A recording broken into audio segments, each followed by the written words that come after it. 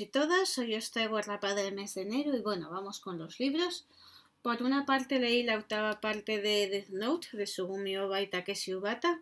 La verdad es que se va enredando bastante todo, se van complicando mucho las cosas, apareciendo nuevos personajes, no sé cómo lo resolverán, pero a mi modo de ver se están complicando mucho.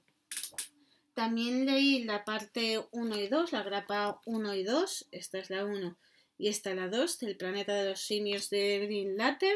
La verdad es que en el 1 estaba un poco descolocada, no sabía por dónde tiraban los tiros, valga la redundancia, pero en el 2 ya vi cómo se iba centrando todo y me está gustando y estoy deseando leer el resto. También leí el primer tomo de la colección integral de Francisco Ibáñez, que mete estas historias.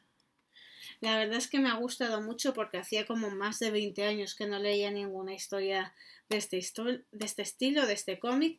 Me he vuelto a reír muchísimo y me ha encantado y lo recomiendo si de pequeños os gustaban. También me he leído el tercer libro de Harry Potter, que es Harry Potter el prisionero de Azkaban. Aquí van metiendo nuevos personajes. Vemos aquí un hipogrifo eh, como os digo, van metiendo nuevos personajes, se va notando como los niños son mayores, por así decirlo. En este ya cumplen 14 años, si no me equivoco. Y bueno, pues me ha gustado bastante, me estoy enganchando un poco más a la serie, ya que los vemos más maduros y no es tan aburrido el libro como el primero, los recomiendo. También me leí la novela gráfica Mouse de Art Spiegelman la verdad es que era una novela que me llamaba mucho la atención y trata sobre la historia del padre de Art Spiegelman, que estuvo en los campos de concentración nazi como judío y nos cuenta toda la historia de su padre y su madre, tanto los campos de concentración como la historia de su padre actual y las, las secuelas que le han quedado. Me encanta.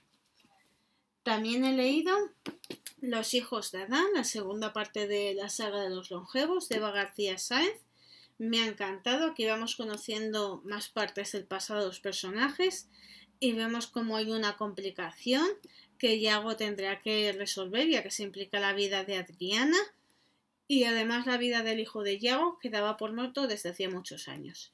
Recomendable y deseando leer la tercera parte. También tenemos El Fuego Invisible de Javier Sierra, que ha sido el Premio Planeta de 2017 me ha recordado un poquito a Dan Brown, la verdad. Pero bueno, con el toque personal de Javier Sierra nos muestra la búsqueda del grial y a mí me ha encantado.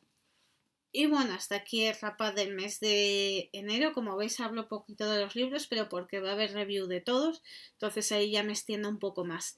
Y como os decía, hasta aquí el vídeo. Como siempre, espero que os haya gustado, que le deis a me gusta, suscribáis a mi canal y lo compartáis en todas vuestras redes sociales. Y muchísimas